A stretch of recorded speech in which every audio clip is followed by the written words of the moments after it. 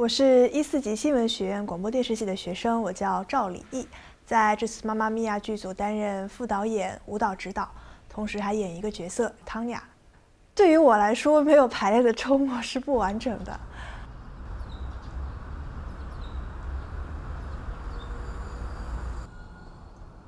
我叫汪子瑜，我是复旦大学数学学院的大三的学生。然后我在复旦大学音乐剧社的《妈妈咪呀》剧组，呃，我担任的是导演的工作。导演组做着排练前最后的准备。这位是吴越，担任副导演、声乐指导。像往常一样，演员们将在这一天中接受声乐、舞蹈和表演三方面的训练。二三。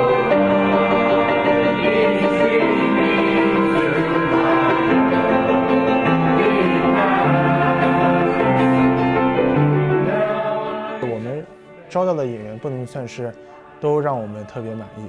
我们学生他们的专业不是学音乐剧的表演，其实他们来自于复旦的各个专业。可能大家就是怎么想都想不到这一群人怎么样能够去演一台音乐剧。那我们再来一次。其实导演组我觉得已经尽了最大的努力，去让大家更好的理解和接受我们排练的任务。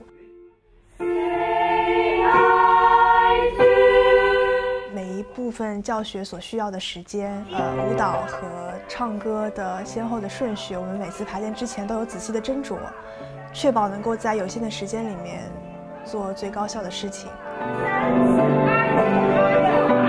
然后我觉得汪老师他也是一个在排练的时候很有激情的人，他能够。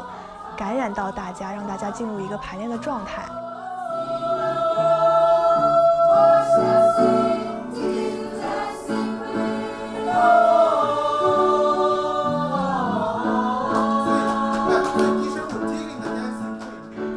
的事情就是通过不断的勤奋的重复练习，来让大家完成这个看似是几乎不可能的任务。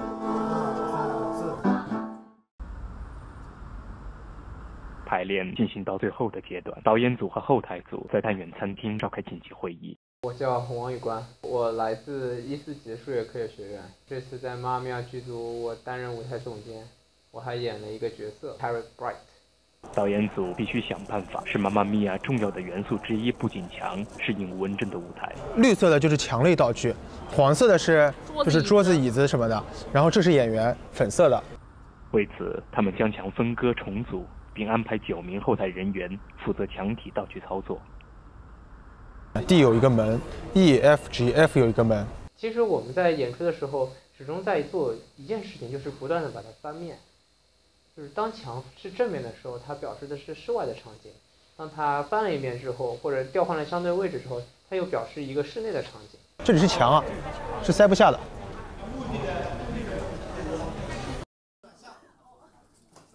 第二天，后台组人员第一次参与排练，舞台总监带领所有人实现道具操作方案。由于现实问题，剧组在演出前一晚才能见到实体道具，他们必须设法模拟道具和场景。所以就用两个椅子代替一个顶，然后拿了一个鞋盒子作为台阶。经过一个上午的磨合，上半场道具操作学习完毕。中午，乐队和伴唱团陆续进场，即将进行的上半场连排令导演组倍感压力。喂，这张凳子是谁搬的？待会让演员这样坐着吧。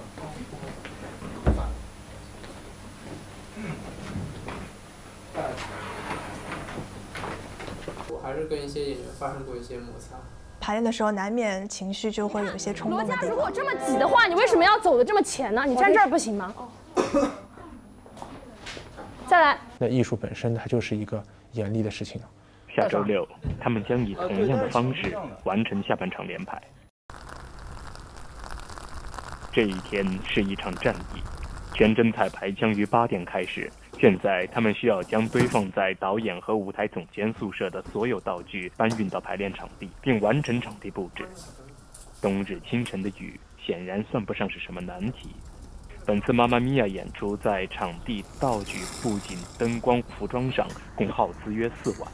他们用一个学期的时间，通过商演、众筹、捐赠的方式筹集资金。这是一个最瓶颈、最瓶颈的一个问题了。如果说不能够保证足够的金钱，我们就没有排练的必要了。排练一直进行到了晚上，剧组又要进行一场大规模的搬运。那天进到吴文正之后，我直接就惊呆了。第一是看到那个墙真的太好看了，第二是完全推不动。后来汪老师一直带大家练推那个墙。一个人看到动猫看到百分之几，这边你差不多。来，就先动，动完。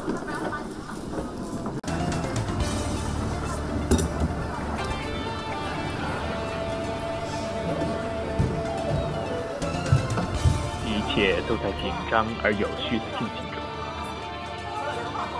内场灯光和音控完成了调试，演员完成了走台。外场剧组在大厅中临时拦住一块区域作为后台，每位演员拥有一块地砖的区域堆放自己的物品。一切准备就绪，他们将进行演出前的最后一次彩排。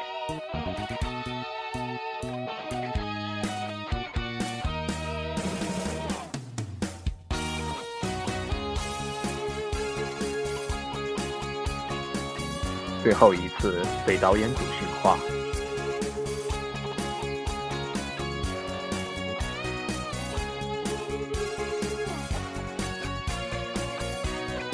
在化妆间吃一顿简单的晚餐。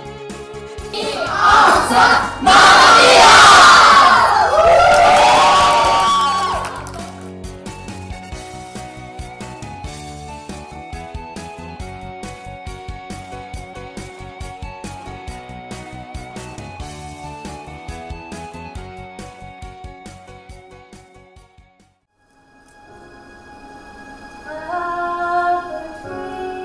其实很多人说你们这样子是不是就只是自己筹钱自导自演了一场自娱自乐？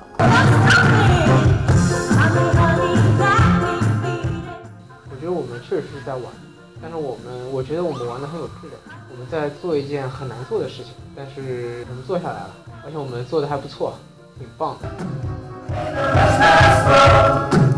自己毕业之后，就再也不能像现在这样，哎呀，好无聊啊！我们做一部音乐剧玩玩吧，就觉得还蛮酷的。我始终觉得吧，做这部剧没有什么可以值得怀疑它的价值的地方。如何在一个大学里面去拍一部，应该也算是比较有难度的一部剧。一年的时间让我学会去解决这些一个一个的问题，我觉得本身就是一种成长。总是觉得社团马上要完蛋了，因为每到这个时候会毕业很多大四的人，大四人中间会有非常重要的人，很多职位会空出来。当初我们有一位舞台总监，他因为一些事情离开了复旦，然后我就想，哎，完了，他一走，我们还如何去掌控吴文正？就没有想到我自己就上了，最后。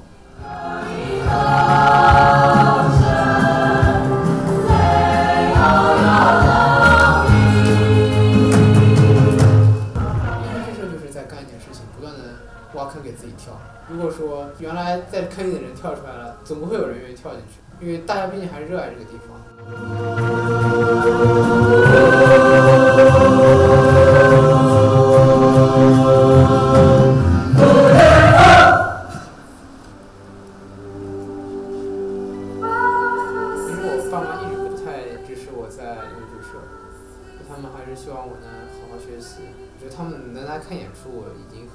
高兴。儿子并不是在折腾一些没有意义的事情。我爸妈也来看演出了，但是我妈说我爸那天游戏打到了一个限时积分加倍，所以基本上一直在玩手机。呃，我在音乐剧社这么久，他们都挺不支持我的。以前很不理解，但是现在还是可以释怀吧。后来我室友就跟我讲，我爸也在那边说，啊，他们演成这样真的厉害，他们他们还是一群孩子啊，想必他们心里是高兴的。很多家长在看到包括婚礼戏啊、母女戏的时候都流眼泪了。它还是可以让一部分人在当下感受到温暖、快乐，我觉得这就够了。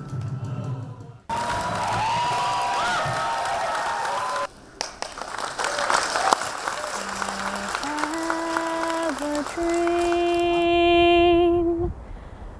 a song to sing, to help me cope. 我们觉得特别舍嗯，不对，得。就我们觉得特别舍不得，我觉得大家都太棒了。 Sing. If you see the wonders of a fairy tale, you can take the future,